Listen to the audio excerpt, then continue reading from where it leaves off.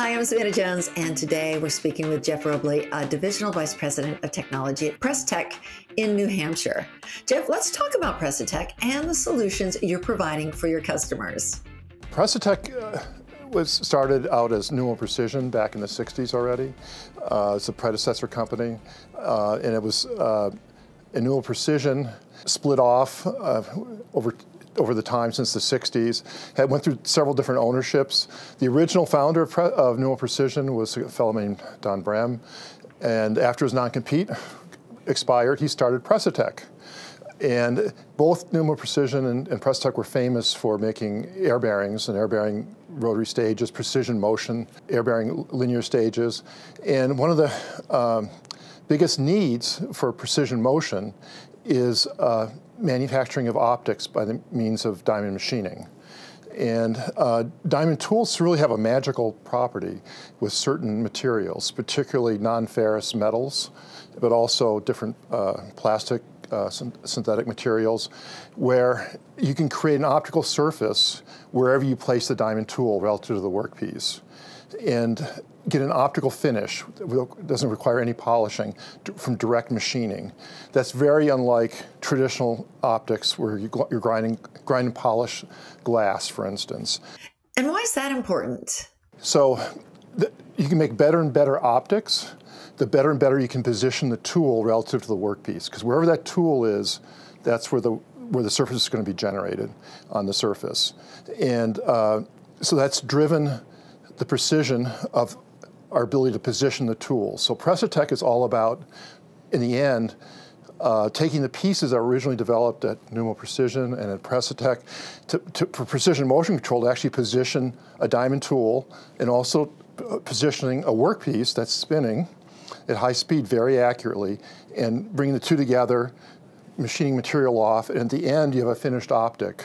With, it doesn't require any polishing at all. And the, also the beauty of diamond turning is that you have a range of different tool shapes and you can make very structured surfaces and odd surfaces that you couldn't do by traditional optics manufacturing. And I would say the advent of diamond turning uh, drove the acceptance of aspheric optics. Uh, before there were, when I started my career in the late 70s, it was pretty unusual for people to design in uh, aspheric optics. With the advent of diamond turning, we can diamond turn an A-sphere just as easily as a spherical optic. And, um, and then we can actually, we've gone beyond that now to do more and more complex shapes. So we've focused on taking these building blocks, Precitech historically, before my time, in the 60s even, of precision motion control and applied it to making optics. And that's our primary focus today. And we have offshoots in, in the Sterling product line for making ophthalmic lenses using the same fundamental uh, positioning of a tool with respect to the workpiece. Jeff, you've been involved with diamond turning since the early development of LLNL, which you mentioned earlier. What would you say are some of the challenges your customers working on advanced applications are facing in manufacturing optics using single point diamond turning? The advent of, as I was talking earlier, the, the, proper name now, single point diamond turning, as opposed to multiple point diamond tools like grinding tools.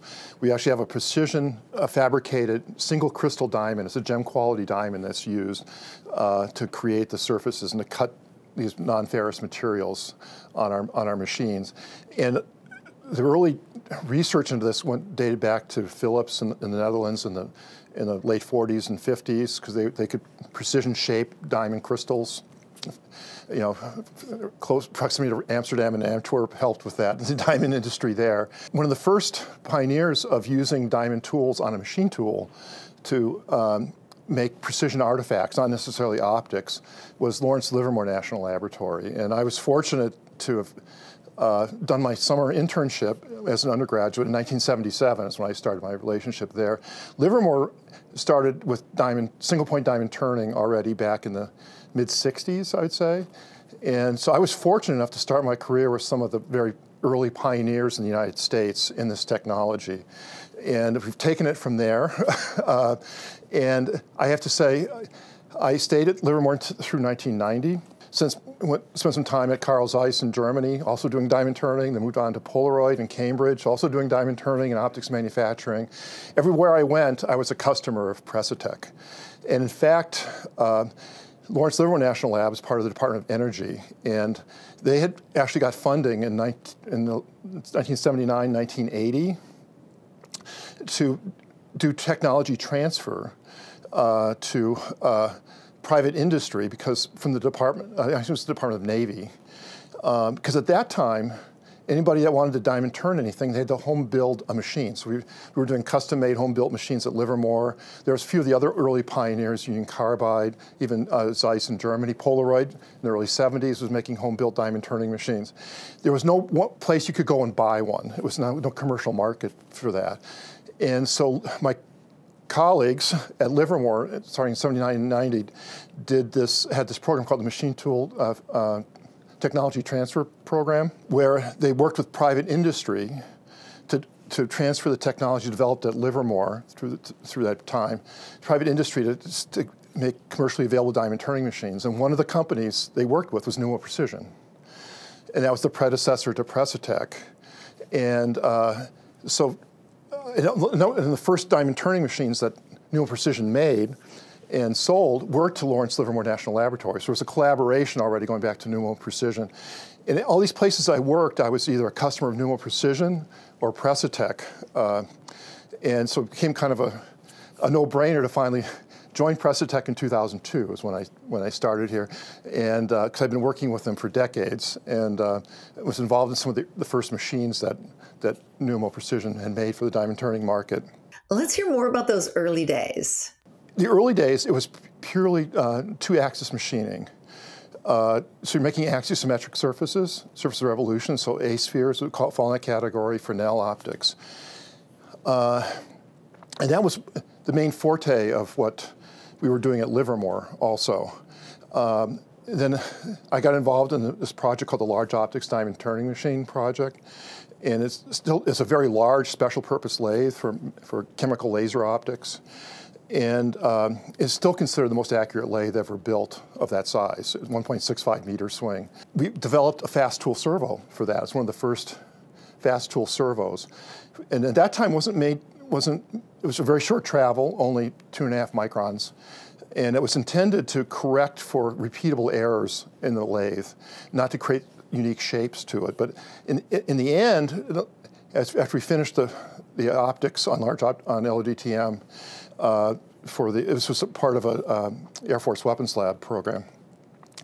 Uh, we started experimenting making freeform surfaces on that same lathe using fast tool servos and also con controlled motion of the z-axis as a function of angle of the of the spindle. So that's XZC turning, or some people call it slow tool servo turning. So it was early days of that. We were able to make wavefront correctors. It was one of the first applications. Uh, another one was to, uh, one of the first applications for a freeform surface at Livermore um, was to simulate turbulence in the atmosphere. Uh, so like a wavefront corrector for uh, lasers propagating through the atmosphere. Uh, and those were quite successful. And uh, but it took a lot of time and a very expensive machine. So by the time, I, I and even in my time at, uh, at Zeiss, we occasionally we would do three axis turning. We have two linear axes, an X and a Z axis, the, the axial and radial axes of motion, but you might combine it with a rotary axis, a B axis, that could use, keep the tool pointed normal to the surface. In a lot of the early diamond turning machines, in fact, uh, DTM 1 and 2 at Livermore had a B axis to do tool normal machining. And that was because you couldn't get good quality diamonds. And so the, one of the largest error sources was the waviness on the edge of the diamond. And so if you always use the same point in the diamond, that eliminated that error source. But as diamond, diamonds got better, there was less need for that, kind of went away for that. Uh, but we were doing, when I was, my time at uh, at Zeiss, we were doing some of the first diffractive lenses uh, um, for uh, infrared optics, for instance, uh, kinoforms, and uh, redirect machining diffractive structures on top of a, uh, a, refractive surface like in germanium. These were transmissive lenses in the infrared. We were doing some of the first diffractive lenses for infrared there during my time there in, in the early 90s. As you mentioned, you've been in the industry in one form or another since the 70s and worked with many companies, and eventually you made your way to Polaroid in the 90s. All the time I was at Zeiss, we just did axisymmetric surfaces, though, whether they're spheres or diffractives. Finally, uh, we started doing some freeform surfaces at uh, Polaroid. And the first commercial use of a true freeform surface was in the uh, SX70 camera. It, was, it predated me, uh, my time at Polaroid when I joined them in, in 1994. Uh, back in the 80s, I was a very successful camera, and they had a, a, a special focusing lens that was represented by a fifth order polynomial. And they did that by raster grinding and a lot of polishing in steel, not with a diamond tool. That was the only technology at the time. So they measured and polished.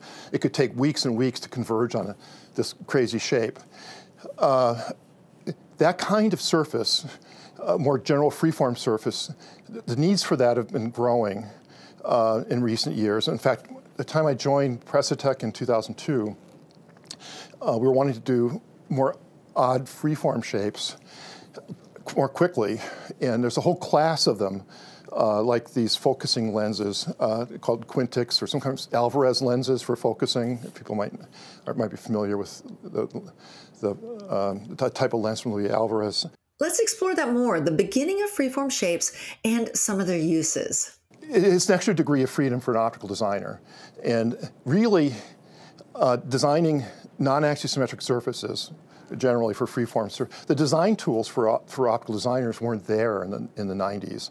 Polaroid did a lot of their own development in, in the 80s on it, but you couldn't buy commercial optical design software. So we didn't see many demands because people didn't know how to design them into it.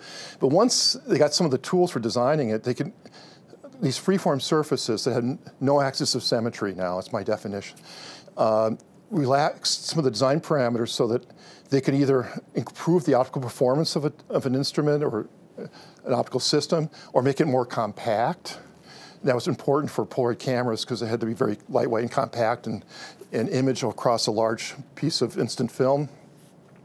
And, and as you fold optics, you have to correct for the image distortion. And the best way to do that was with freeform optics. So at, at the time uh, I joined, around the time I joined Precitech in 2002, uh, we, we'd been looking at freeform surfaces that are close to being axisymmetric but deviate a bit. Uh, toric lenses might be an example where you have uh, astigmatism, trying to correct for astigmatism, power in one direction different than the, the other direction. And there, you can use a fast tool servo, which uh, uh, and uh, Pneumo Precision actually started the first applica commercial applications of fast tool servos for direct lathing of contact lenses using fast tool servos in the, in already in the, um, in the mid 90s. Um, and I think up, and this allows very rapid production of non-axisymmetric surfaces by rapidly positioning the tool as a function of angle. But also, if you want to do something longer travel and don't want the expense of a, of a fast tool servo, you could use the main z-axis of the machine, and we were calling that slow tool servo. I don't really like that name because still the slides are still moving pretty fast. Uh, so I like to call it XZC turning because uh, it's three-axis turning. You can create a whole uh, class of freeform surfaces that are being close to axisymmetric. Um, so it depends on the, on the excursion. Uh, we, have done uh, some mild toric surfaces up to 2,000 RPM using the z-axis, moving in and out twice per revolution. So now it sounds like the processes are getting simpler and more streamlined. So that was just starting to catch on when I started here in 2002. And, and now that brought the cost down for making molds or optics directly for, for mild freeform surfaces you know, like an almost an order of magnitude because you could just do it on a normal turning machine just using the extra axis, the C axis, which is the rotary axis of the workpiece, and match the tool. Or uh, I could tell people anything you could do with XZC turning, you can do with a fast tool servo, as long as you stay within the travel limits of the fast tool servo, but you can do it 10 to 15 times the speed. So it's the speed thing. Uh, that, there's another class of freeform surfaces where you can't use XZC, turning one rotary axis and two linear axes. The more general case is using three linear axes, X, Y, Z. And, um, and again, starting in about, just before I joined Precitech, in late 90s, uh, started coming out with a machine with a, with a vertical linear axis and the two horizontal axes. There you can position a spinning tool, we call that fly cutting, with the, with the diamond tool spinning, a single, still single point tool, but spinning. then you can move that over the surface and create very arbitrary freeform surfaces. Like one application is an F theta lens, which is used to focus for laser printing or laser scanning. You have a, a uh, but if you want to take a spinning laser and focus it on a piece of paper to write or scan on it, it requires a lens to take that sweeping laser beam and focus it down to a tight spot on a piece of paper going, and that's called an F theta lens. It's a very crazy freeform shape, large uh, changes of shape, and the only way to do that was with three, you can't do that by XZC turning. And um, so it's, yeah, applications like that. Uh, early days of rear projection television also had some crazy freeform surfaces where you couldn't do it by spinning the workpiece. You, had, you really needed three linear axes. There's two classes of freeform surfaces I like to talk about, and we, and Precitech does, does both. And we've been advancing those a lot in the last 20 years since I joined Precitech. So.